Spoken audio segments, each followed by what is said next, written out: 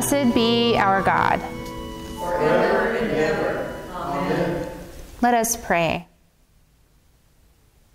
Almighty God, we pray you graciously to behold this your family, for whom our Lord Jesus Christ was willing to be betrayed and given into the hands of sinners and to suffer death upon the cross, who now lives and reigns with you and the Holy Spirit, one God, forever and ever. Amen. Our first reading is from the prophet Isaiah. See, my servant shall prosper. He shall be exalted and lifted up, and shall be very high. Just as there were many who were astonished at him, so marred was his appearance beyond human semblance, and his form beyond that of mortals. So he shall startle many nations. Kings shall shut their mouths because of him. For that which had not been told them, they shall see and that which they had not heard, they shall contemplate. Who has believed what we have heard? And to whom has the arm of the Lord been revealed? For he grew up before him like a young plant, and like a root out of dry ground. He had no form or majesty that we should look at him, nothing in his appearance that we should desire him. He was despised and rejected by others a man of suffering and acquainted with infirmity. And as one from whom others hide their faces, he was despised, and we held him of no account. Surely he has borne our infirmities and carried our diseases, yet we accounted him stricken, struck down by God, and afflicted. But he was wounded for our transgressions crushed for our iniquities. Upon him was the punishment that made us whole, and by his bruises we are healed. All we like sheep have gone astray. We have all turned to our own way, and the Lord has laid on him the iniquity of us all. He was oppressed and he was afflicted, yet he did not open his mouth. Like a lamb that is led to the slaughter, and like a sheep that before its shearers is silent, so he did not open his mouth. By a perversion of justice, he was taken away. Who could have imagined his future? For he was cut off from the land of the living, stricken for the transgression of my people. They made his grave with the wicked and his tomb with the rich. Although he had done no violence, and there was no deceit in his mouth. Yet it was the will of the Lord to crush him with pain. When you make his life an offering for sin, he shall see his offspring and shall prolong his days. Through him the will of the Lord shall prosper. Out of his anguish he shall see light. He shall find satisfaction through his knowledge. The righteous one, my servant, shall make many righteous, and he shall bear their iniquities. Therefore, I will allot him a portion with the great, and he shall divide the spoil with the strong, because he poured out himself to death and was numbered with the transgressors. Yet he bore the sin of many and made the intercession for the transgressors. Hear what the Spirit is saying to God's people. Let us read this psalm in unison. My God, my God, why have you forsaken me? Why are you so far from helping me, from the words of my groaning? O oh my God, I cry by day, but you do not answer and by night, but find no rest. Yet you are holy, enthroned on the praises of Israel. In you our ancestors trusted. They trusted, and you delivered them. To you they cried and were saved. In you they trusted and were not put to shame. But I am a worm and not human, scorned by others and despised by the people. All who see me mock at me. They make mouths at me. They shake their heads. Commit your cause to the Lord. Let him deliver. Let him rescue the one in whom he delights. Yet it was you who took me from the womb. You kept me safe on my mother's breast. On you I was cast from my birth, and since my mother bore me, you have been my God. Do not be far from me, for trouble is near, and there is no one to help. A reading from the letter to the Hebrews. This is the covenant that I will make with them after those days, says the Lord. I will put my laws in their hearts, and I will write them on their minds. He also adds, I will remember their sins and their lawless deeds no more. Where there is forgiveness of these, there is no longer any offering for sin. Therefore, my friends, since we have confidence to enter the sanctuary by the blood of Jesus, by the new and living way that he opened for us through the curtain, that is, through his flesh. And since we have a great priest over the house of God, let us approach with a true heart and full assurance of faith, with our hearts sprinkled clean from an evil conscience and our bodies washed with pure water. Let us hold fast to the confession of our hope without wavering, for he has promised for he who has promised is faithful. And let us consider how to provoke one another to love and good deeds, not neglecting to meet together, and is the, and is the habit of some, but encouraging one another, and all the more as you see the day approaching. Hear what the Spirit is saying to God's people.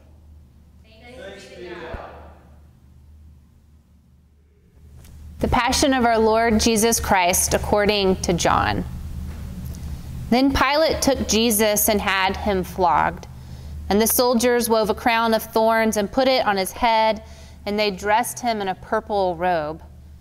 They kept coming up to him, saying, Hail, King of the Jews, and striking him on the face. Pilate went out again and said to them, Look, I am bringing him out to let you know that I find no case against him. So Jesus came out, wearing the crown of thorns and the purple robe, and Pilate said to them, Here is the man. When the chief priest and the police saw him, they shouted, Crucify him! Crucify him! Pilate said to them, Take him yourselves and crucify him. I find no case against him. The Jews answered him, We have a law, and according to that law, he ought to die, because he has claimed to be the Son of God. Now, when Pilate heard this, he was more afraid than ever. He entered his headquarters again and asked Jesus, Where are you from? But Jesus gave him no answer. Pilate therefore said to him, Do you refuse to speak to me? Do you not know that I have power to release you and power to crucify you? Jesus answered him, You would have no power over me unless it had been given to you from above. Therefore, the one who handed me over to you is guilty of a greater sin. From then on, Pilate tried to release him, but the Jews cried out, If you release this man, you are no friend of the emperor. Everyone who claims to be a king sets himself against the emperor. When Pilate heard these words, he brought Jesus outside and sat on the judge's bench at a place called the Stone Pavement, or in Hebrew, Gabbatha now it was the day of preparation for Passover, and it was about noon. He said to the Jews, Here is your king. And they cried out, Away with him, away with him, crucify him. Pilate asked them, Shall I crucify your king? The chief priest answered, We have no king, but the emperor. Then he handed him over to them to be crucified. So they took Jesus, and carrying the cross by himself, he went out to what is called the place of the skull, which in Hebrew is called Golgotha. And there they crucified him. And with two others, one on either side, with Jesus between them.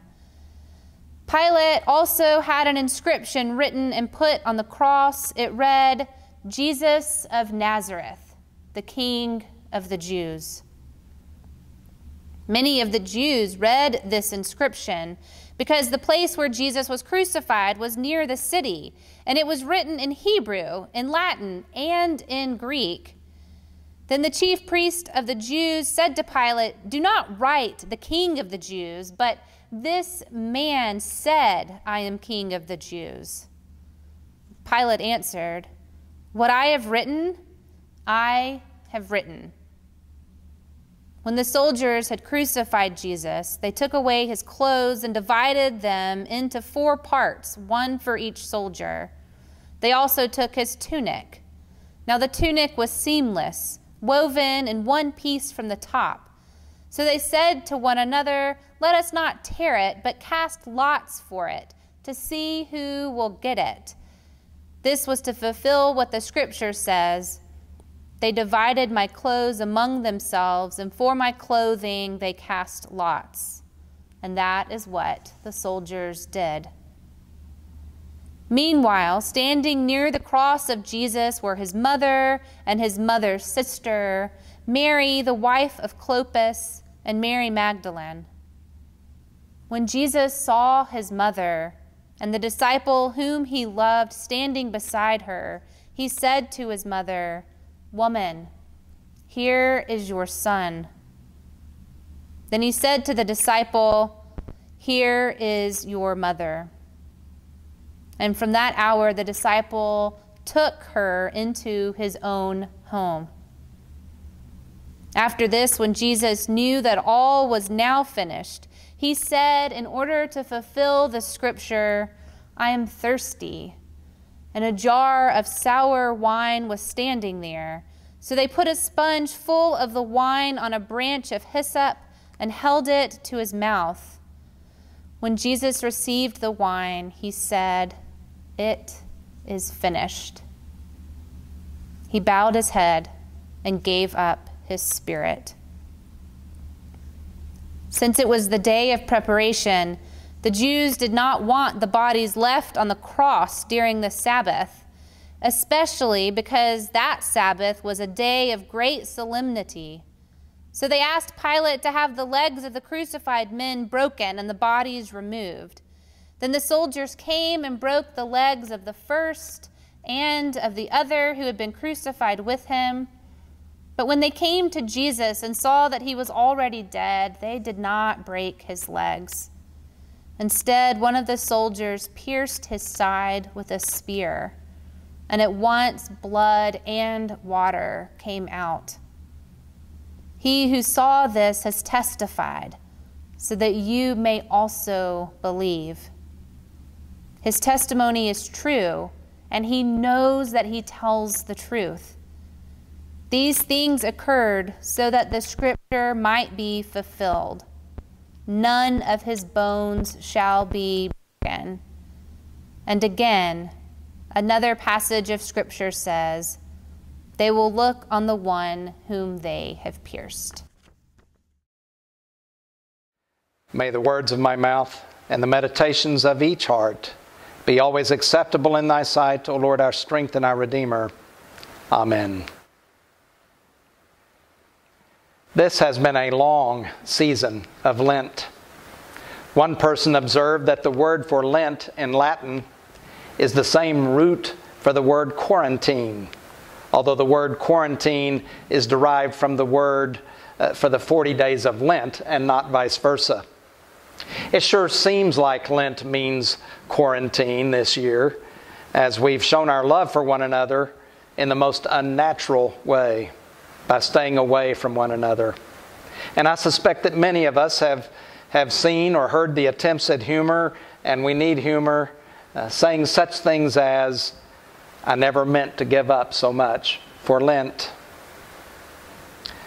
You know, we don't celebrate the seasons of the church year simply to remember events that happened a long time ago. For example, we celebrate Advent because Christ came once in history, yes, but also because Christ comes every day. We celebrate Christmas because Christ is born in hearts every day. We celebrate Epiphany because Christ is made known, made manifest every day. We remember the crucifixion because crucifixion happens every day.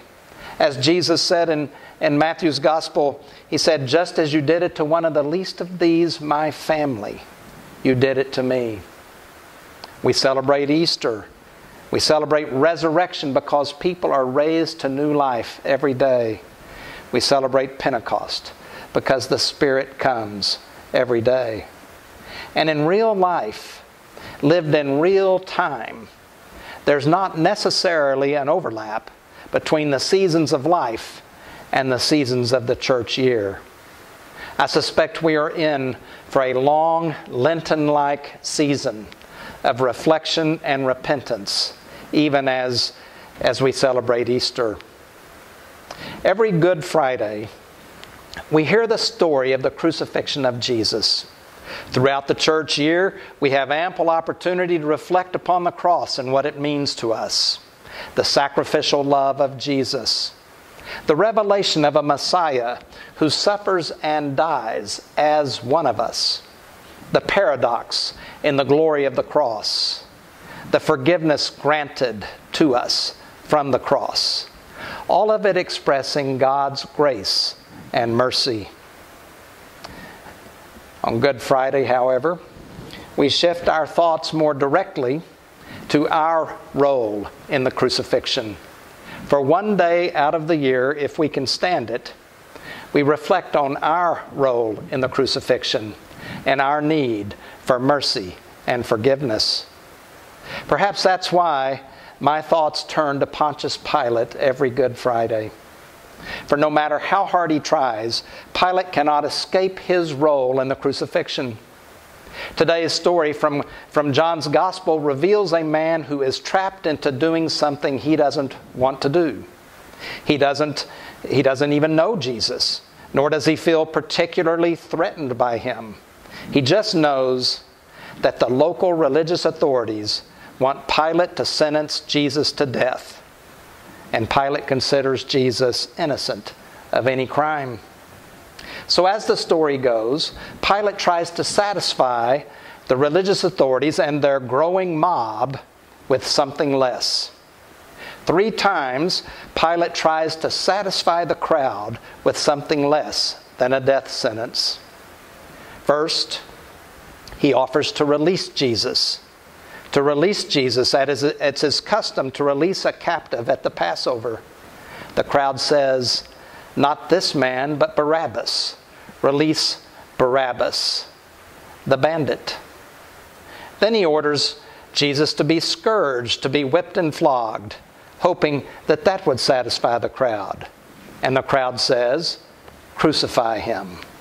Then he sends Jesus out in front of the crowd, humiliated wearing a crown of thorns and a purple robe. And he says, Behold the man. It's sarcasm, as if to say, This is a threat. The crowd says, Crucify him. Pilate says, Take him yourselves and crucify him. I find no case against him. He tries to wash his hands of it all, but the religious authorities tell him if you release this man, you are no friend of the emperor, implying that they will tell Caesar that Pilate released a man who claimed to be king. So Pilate and the Romans, the political authorities, rationalize handling this mess from a distance, but not without first manipulating the Jews into saying, We have no king but Caesar. This is a drama filled with self preservation, self justification, and denial. As the characters in the drama try to get someone else to do it, try to blame others for the crucifixion of Jesus. And that's what the cross denies. The cross denies the fiction that the others are the guilty. The cross says we are all one in our guilt. Richard Rohr makes the observation that for the Apostle Paul, sin is something more than private perverse behavior. Paul writes about the principalities and powers. And to describe the power of sin, he uses such language as the cosmic powers of this present darkness and the spiritual forces of evil. Rohr says that, that Paul understands sin to be a combination of group blindness and corporate illusion, that human beings are caught up in a double bind, entrapped, enslaved, and complicit in a human made domination system, like Pilate and the political authorities, like the religious authorities, like the crowd. We are one in our sin. I wonder if this long, real life season of Lent, this season of reflection and repentance, will lead us to a deeper understanding of the ways the human family is one. I'm mindful of the word repent, that the word repent means something more than feeling bad for doing bad things, and even more than turning around, turning around from going the wrong way. The word repent in the Greek language means to go beyond the mind or to go into the larger mind. Maybe it means to see as God sees. An astronomer named Fred Hoyle predicted in 1948. In 1948, this, this astronomer said, Once a photograph of the Earth taken from the outside is available, once the sheer isolation of the earth becomes plain, a new idea, as powerful as any in history, will be let loose. This powerful idea is that we human beings constitute one family on a tiny, fragile planet in limitless space. Of course, We've now seen that photograph. And if we are honest, we've been slow to take on this new big idea. But in this real life season of Lent, we are witnessing at unprecedented speed the degree to which we are connected as one body. I'm not one who believes that God sends tragic events in order to teach us a lesson. I don't believe that at all. But I wonder if this crisis might open our eyes to see what God sees, to awaken us to the reality that we are one human family. One of my favorite theologians, Beatrice Bruteau, says that we have an understanding of reality which sees others as outside of us, different, in competition with us, alien to us. We see the world in terms of, of separation, alienation, and domination. And she wonders if how we see reality is false. And what she offers is another understanding of reality, what she calls a metaphysic. The word is not important here. But what she means is a spontaneous and natural worldview the way we see reality without thinking about it, our taken for granted perception of things, our outlook on life. And the reality she offers comes from Jesus. And the second part of his, of his two great commandments when he says, You shall love your neighbor as yourself. When Jesus says to us, Love your neighbor as yourself, he does not say, love your neighbor as much as yourself.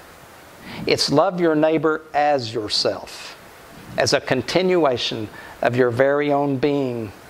To love our neighbor as ourself is to see us as connected, as one. So, in this season of reflection and repentance, may we go into the larger mind and see what God sees. One human family in need of mercy, forgiveness, and love from God and from one another. In the opening prayer in today's Good Friday liturgy, we prayed, Almighty God, we pray you graciously to behold this your family, for whom our Lord Jesus Christ was willing to be betrayed and given into the hands of sinners and to suffer death upon the cross. That's the prayer that frames today's liturgy. Gracious God, behold this your family. May we too behold your family, our family, in the name of the Holy Trinity, one God, in whom we live and move and have our being. Amen.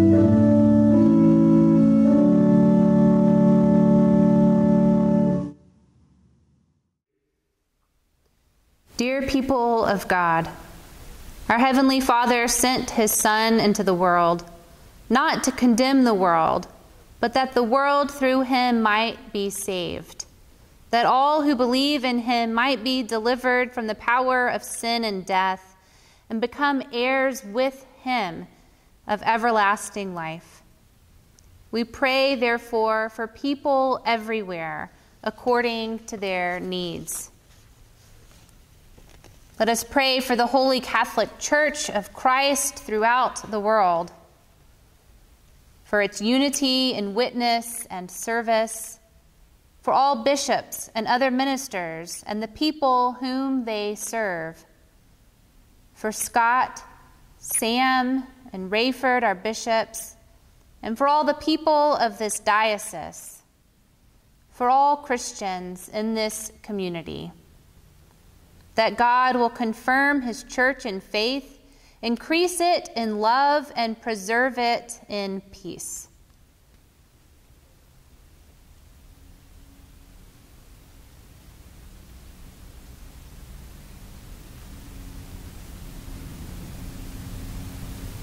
Almighty and everlasting God, by whose Spirit the whole body of your faithful people is governed and sanctified Receive our supplications and prayers which we offer before you for all members of your holy church, that in their vocation and ministry they may truly and devoutly serve you. Through our Lord and Savior Jesus Christ. Amen.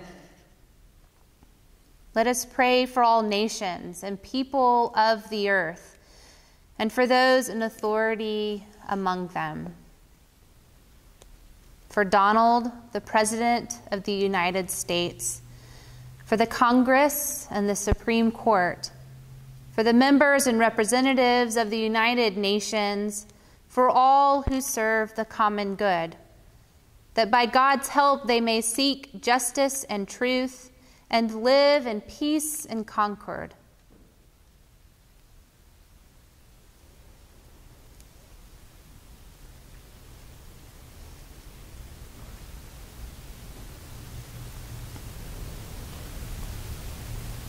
Almighty God, kindle, we pray, in every heart the true love of peace, and guide with your wisdom those who take counsel for the nations of the earth, that in tranquility your dominion may increase until the earth is filled with the knowledge of your love, through Jesus Christ our Lord. Amen. Let us pray for all who suffer and are afflicted in body or in mind, for the hungry and the homeless, the destitute and the oppressed, for the sick, the wounded, and the crippled, for those in loneliness, fear, and anguish, for those who face temptation, doubt, and despair, for the sorrowful and bereaved for prisoners and captives and those in mortal danger.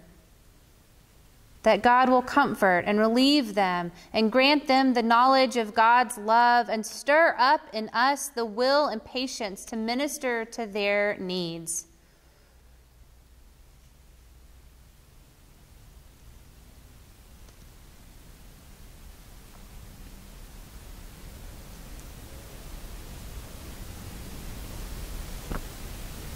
Gracious God, the comfort of all who sorrow, the strength of all who suffer, let the cry of those in misery and need come to you, that they may find your mercy present with them in all their afflictions.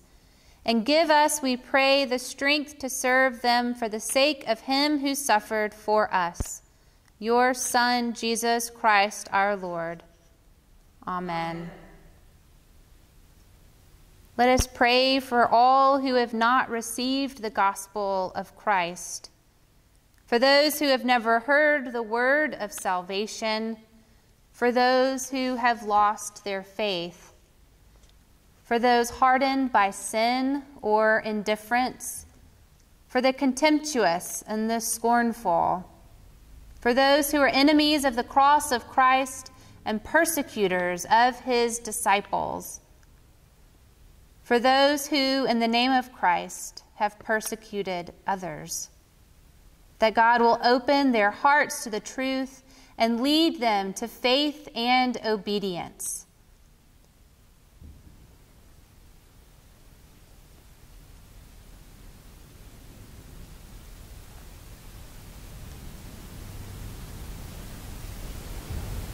Merciful God, creator of all the peoples of the earth and lover of souls, have compassion on all who do not know you as you are revealed in your Son, Jesus Christ.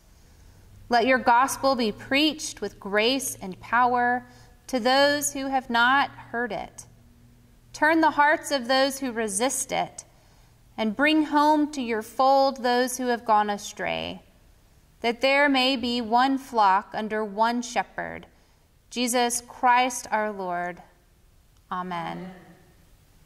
Let us commit ourselves to our God and pray for the grace of a holy life, that with all who have departed this world and have died in the peace of Christ, and whose faith is known to God alone, we may be accounted worthy to enter into the fullness of the joy of our Lord and receive the crown of life in the day of resurrection.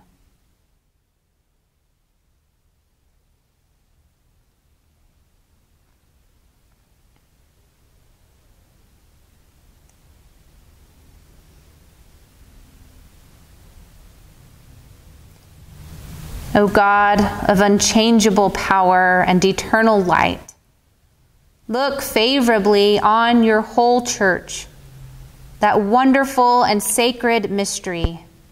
By the effectual working of your providence, carry out in tranquility the plan of salvation.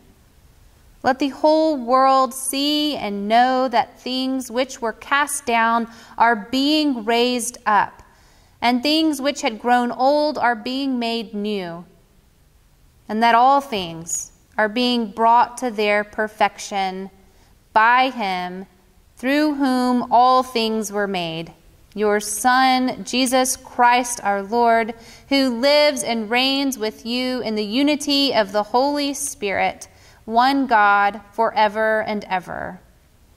Amen. What follows next in our service is the veneration of the cross. So, wherever you are at this moment, I invite you to take a few deep breaths let the music wash over you and spend time in prayer, thinking about the cross and what Jesus' death means for you in your life today.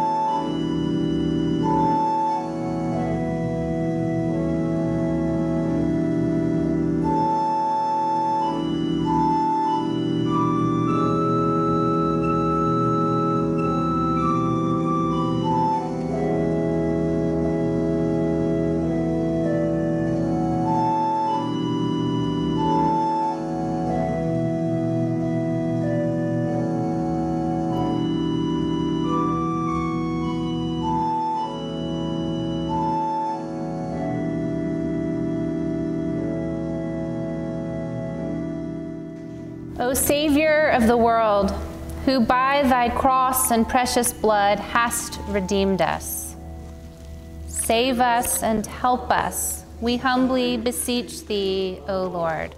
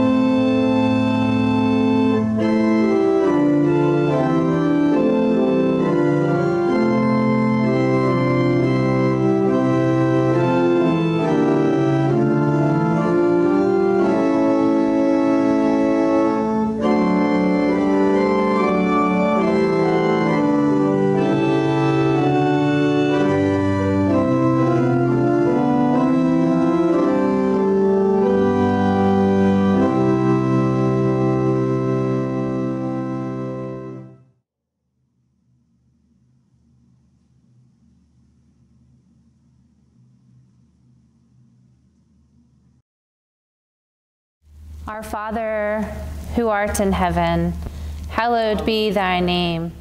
Thy kingdom come, thy will be done, on earth as it is in heaven. Give us this day our daily bread, and forgive us our trespasses, as we forgive those who trespass against us. And lead us not into temptation, but deliver us from evil.